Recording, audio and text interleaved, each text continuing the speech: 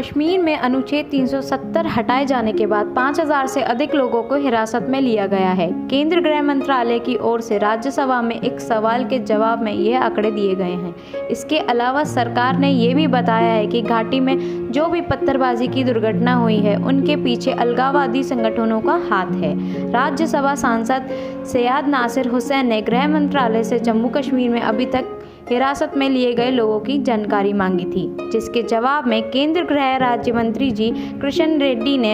सदन को बताया कि राज्य के कानून की व्यवस्था को सुचारू रूप से चलाने के लिए कुल 5,161 लोगों को हिरासत में लिया गया था हालांकि हिरासत में लिए गए लोगों से जुड़े मामले मजिस्ट्रेट के सामने हैं ऐसे में सरकार ने कहा है कि इन्हें कब छोड़ा जाएगा इसका जवाब अभी नहीं दिया जा सकता